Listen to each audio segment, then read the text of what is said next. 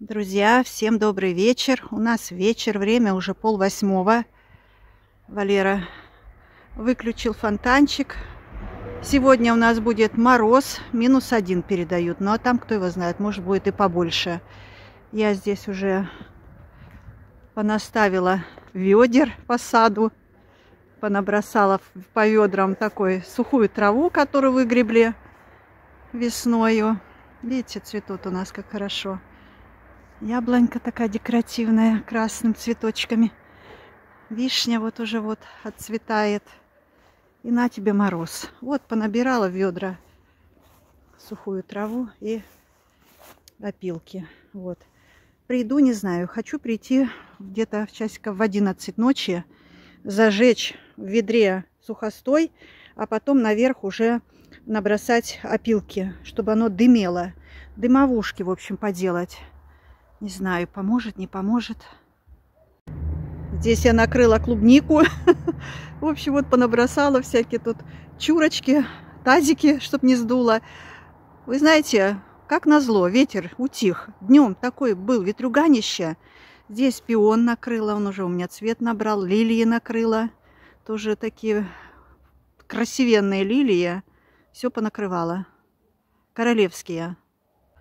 Здесь тоже у меня пионы набрали цвет. В бутонах все пионы. Тоже накрыла, видите. В саду тоже понаставила ведер. Здесь вот у меня мешок с опилками стоит. Все, я приготовила. Дали мне здесь печку какую-то старую, пристарую. Я ее поставила, тоже натолкала сюда сухой травы. Здесь вот ведра поставила под яблоньками. В общем, мои мужчины сказали, мы тебе поможем, придем. Видите, какое зарево красное. Сто процентов будет мороз. Вот, видно вам, да? Я показываю там вдалеке. Где у меня Виктория.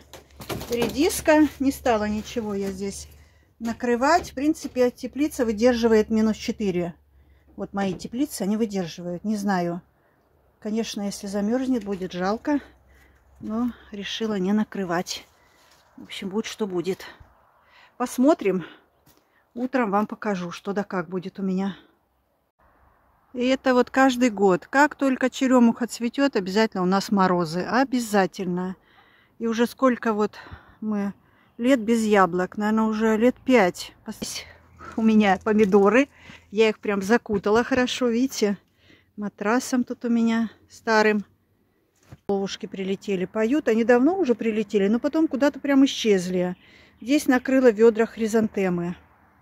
Крупнолистную гортензию, видите, всю попрятала в беседку. Все-все сюда убрала. Сегодня было так холодно, даже тюльпанчики, видите, не распустились. Так и остались закрыты. Целый день так стояли. И пиановидные тоже не распускались. А что ветер? Ледяной ветер просто дул. Невозможно ледяной ветер был. Как будто бы вот-вот сорвется снег. Ну а спирейки, я думаю, ничего не будет. Как вы думаете? Такая красивая она у меня в этом году. Так обильно цветет красиво, как будто бы вся в снегу. Всем доброе утро. Утро морозное. Снимаю видео утром уже теперь. Все у нас померзло. Ничего я не стала поджигать тут, зажигать. Все это бесполезно. Это надо было дымить всю ночь, тут не спать. Не стала я ничего делать. В общем, как есть, так и есть. Мороз был Минус два или минус один. Все, в общем, видите, опять Виктория вся замерзла. Как и в том году. Все один в один. Здесь ничего не накрывало. Вроде бы клубника стоит, но там посмотрим. Если серединка почернеет, то тоже, может, прихватило. А так карбонат вон весь в инее. На смородинке мороз. И на малине тоже. Здесь вот накрывала пионы. Сейчас вот снимаю. Спанбонд. Ну, здесь вот солнечная сторона. Вроде бы как ничего. Вот, даже под спанбондом и то прихватило. Так что спанбонды ничего не спасают. Вишенка тоже замерзла. А здесь накрывали спанбондом толстым, двадцаткой. И с обратной стороны спанбонда, который лежал вот на земле, еще сильнее прихватило инеем, чем вверх. Так что не знаю. Этот спанбонд, мне кажется, это все мертвым припарка. Здесь тоже вот цветы накрыло. Сейчас сниму. Тоже, видите, все в инии. Вот, видите, пионы под спанбондом были. Вот они какие, как тряпочки. Тюльпанчики головы склонили. Ой-ой-ой. Что творится? Ай-яй-яй. Друзья, всем пока-пока. Вот такое у нас морозное утро 4 мая.